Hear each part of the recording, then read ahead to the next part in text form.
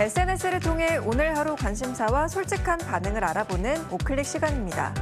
투자의 규제 워런 버핏의 연례 자선 행사인 버핏과의 점심 경매가가 8시간 만에 38억 원을 돌파하며 관심을 끌고 있습니다. 오클릭 첫 번째 검색어는 마지막 버핏과의 점심입니다.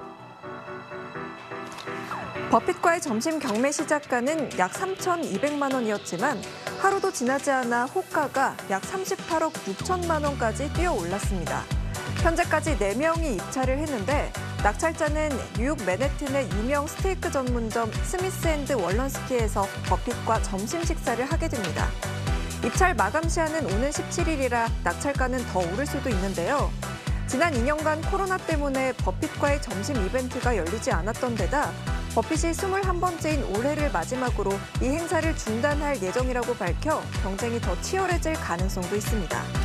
역대 최고 낙찰가는 2019년 중국 암호화폐 트론 창업자 저스틴 선의 약 59억 원이었는데 이 금액을 뛰어넘을지도 관심사입니다.